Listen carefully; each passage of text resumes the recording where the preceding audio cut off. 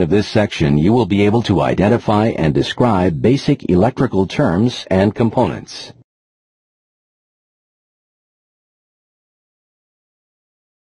Electricity is the flow of electrons from an area of high electrical potential to an area of low electrical potential. All matter is made up of atoms, and the center of an atom is the nucleus. The nucleus contains positively charged particles called protons and uncharged particles called neutrons. Surrounding the nucleus are negatively charged particles called electrons. When the balancing force between protons and electrons is upset by an outside force, electrons will move from atom to atom. If an atom loses electrons, the flow of these electrons constitutes an electric current. Voltage is electrical pressure that's been converted from chemical or mechanical energy into electrical energy, as in a battery or an alternator. Voltage, which is measured in volts, pushes electrons through a circuit and is similar to how hydraulic pressure pushes water through a pipe. For example, a battery and an alternator provide electrical pressure. The higher the voltage, the greater the electrical pressure. When an atom loses electrons, the flow of these electrons constitutes an electric current. Using our water flow and pipe example, we can also describe current as the rate at which water exits the pipe. For electricity, however, electric current is described as the number of electrons passing a given point in a circuit in one second. Electric current is measured in amps. As a circuit operates, the flow of current is constant throughout the circuit.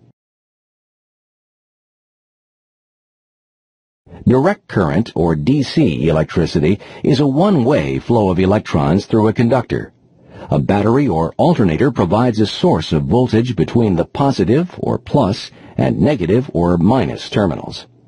The majority of electrical circuits and components on a heavy-duty vehicle operate on DC electricity.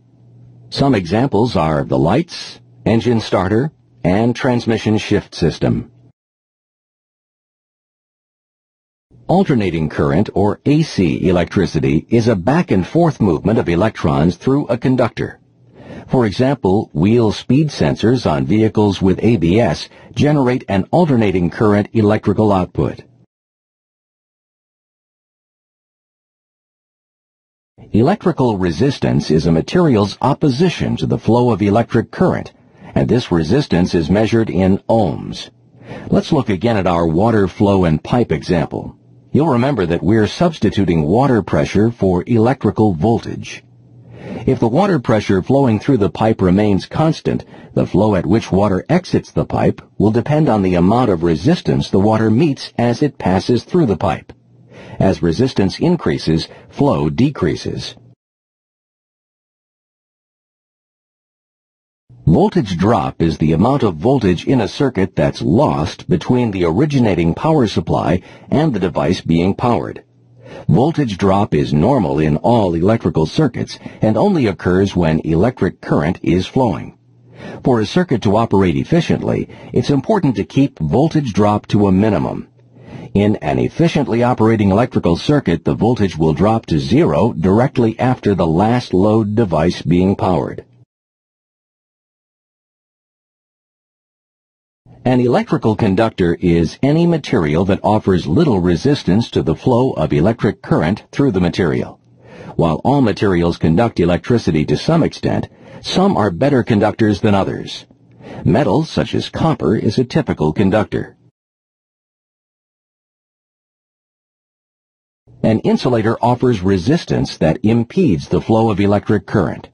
Some examples of insulators are rubber, glass, and plastic.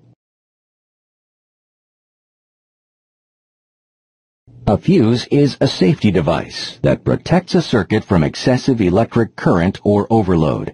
When current exceeds a fuse's specific amperage rating, the internal metal element in the fuse melts, which opens the circuit and interrupts the flow of electricity to the load.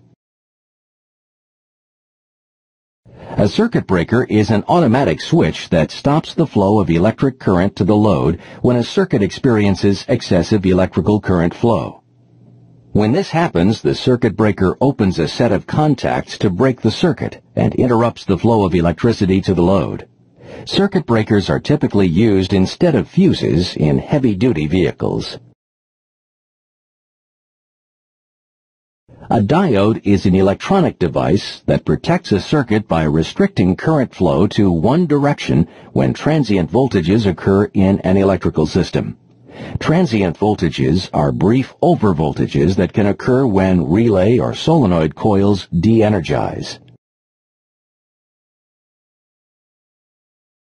A 12-volt direct current solenoid coil can create thousands of volts of alternating current when the solenoid coil is de-energized. This energy is referred to as a voltage surge or spike. Transient voltages can disrupt, damage, or completely destroy electronic components in a vehicle, either immediately or over a long period of time. Installing a diode across the solenoid coil or in the circuit wiring suppresses transient voltages.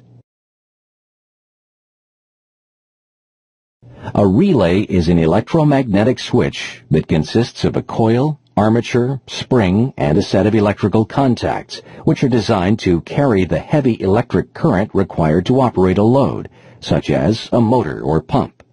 The relay consists of two separate independent circuits. One circuit is low amperage and the other circuit is high amperage. In the first low amperage circuit, a switch controls power to the coil.